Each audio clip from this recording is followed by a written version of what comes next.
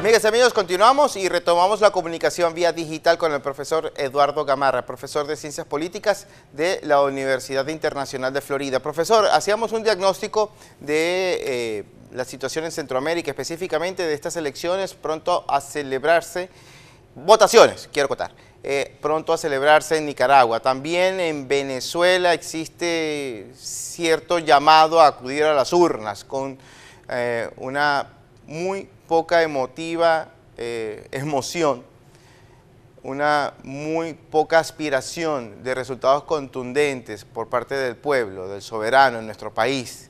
Eh, hay una absoluta desconfianza, pareciera, en naciones que el socialismo del siglo XXI ha arrastrado hacia la miseria. En este caso, eh, vemos como en Venezuela no se escapa de ello. Profesor. Sí, creo que tenemos problemas de audio en este momento, profesor. ¿Ahora?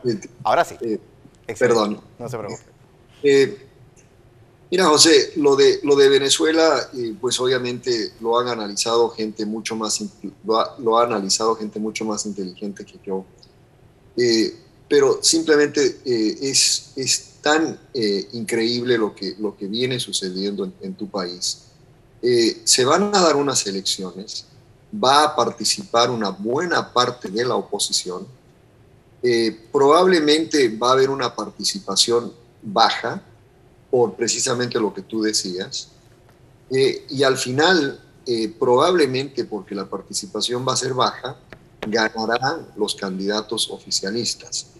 y la oposición, esta que ha participado, lamentablemente está haciéndole un juego muy importante al, régimen de Maduro. Está legitimando un proceso electoral que no tiene observadores internacionales, que no ha sido, pues obviamente, bendecido por nadie más que por las instituciones y, los, y, y la gente del, gobierno de, Maduro. Entonces, eh, eh, veremos, no es, no es nada similar a lo que está sucediendo en, en Nicaragua. Eh, y como hemos venido viendo en el caso de, Venezuela, cada elección consolida al gobierno de, eh, este, este, socialismo del siglo XXI. Entonces, yo, yo pienso al menos que eh, la oposición es en gran medida, no voy a decir culpable, pero, pero sí tiene mucho que ver con el crecimiento de estos, de estos, de estos tipos de gobiernos. Las oposiciones latinoamericanas han jugado papeles verdaderamente desastrosos a lo largo de las últimas dos décadas. El caso de la, oposición boliviana es muy similar, eh, creo que te lo he comentado en varias ocasiones. Oposiciones que se dividen, que todos quieren ser presidentes, no logran construir un proyecto alternativo y frente a eso, pues es obvio que va a ganar el que tiene el control de la institucionalidad y el que tiene control de los, de los aparatos del Estado. Entonces, eso lamentablemente creo que estamos viendo un paso más que legitima eh, a, Maduro, legitima a este gobierno, y la oposición puede ser que gane unos escaños aquí y allá, pero no tendrá una gran presencia como para hacer una diferencia en la naturaleza del régimen.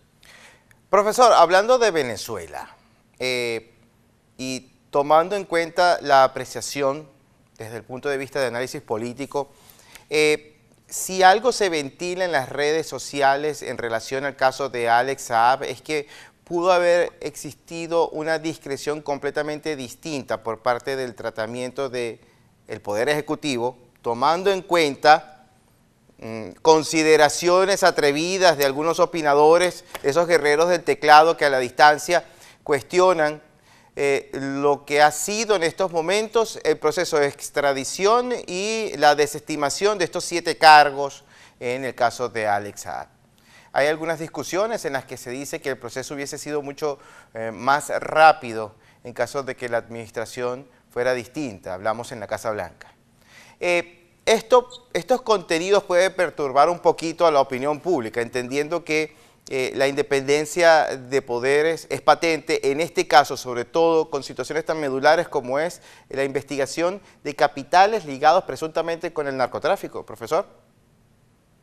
Eh, mira, José, eh, lo, más importante que, uno tiene que entender es que si bien Estados Unidos ha pasado por momentos difíciles y la democracia en este país, al igual que la democracia en otros, está, está pasando por momentos difíciles, algo que sí nos caracteriza es que hay una independencia del Poder Judicial.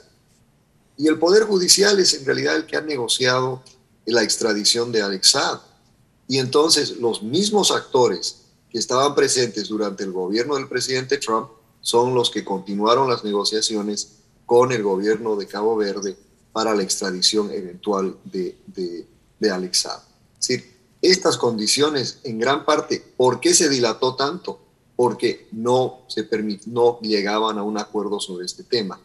Al final, lo importante es que el señor Saab tendrá un juicio acá, pero enfrenta 20 años de cárcel, ¿no? Y esos 20 años eh, son, muy, son largos, pero además el señor Saab probablemente va a entrar en negociaciones aún con el gobierno de los Estados Unidos y lo que verdaderamente interesa es la información que él tiene respecto a sus negociaciones, sus, sus, sus negociados con el, con el gobierno de, Venezuela. Y además de ello, profesor, le agrego otro elemento, eh, eh, y son sus presuntos vínculos con cúpulas eh, en Irán, Medio Oriente, Turquía, y que le atribuyen también lo que pueden ser estas estrategias y esquemas para el lavado de dinero, legitimación de capitales, para también desvío, quién quita. No sabemos a dónde llega ese dinero porque sabemos muy bien que mucho producto de las operaciones de narcotráfico se encargan de propiciar el financiamiento de terrorismo. Entonces, más allá de que pueda proporcionar el resultado de esta investigación, una sentencia firme contra Alex Saab, más allá de que se pueda dar otro nombre que pueda desatar a lo mejor resultados para otra investigación en puertas. Profesor, también puede significar la condenatoria para aquellas naciones que están vinculadas con la delación de Alex Saab. ¿Estaremos al frente de eso o la desestimación también de aquellos gobiernos que están a favor de estos países macabros? Mira, en el, caso de Chávez es interesante leerlo, es, muy interesante leer la, la, demanda judicial.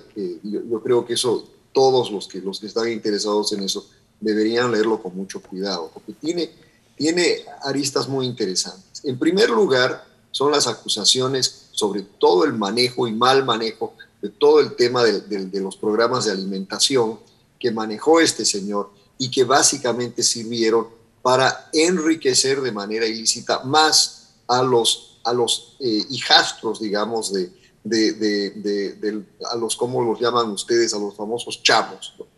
Eh, una parte. Y segundo, está todo el esquema del oro, la minería, el tema de cómo vía Alex o Alex facilitaba esos contactos para vender el oro ¿no? de manera ilegal, tanto en Turquía como en otros países, y después cobrar ese oro violando el embargo norteamericano impuesto a Venezuela. Yo creo que hay que entender esta, esta, estas situaciones para realmente saber de lo que se trata el caso, el caso Saab. Toda esa información es de vital importancia para los Estados Unidos.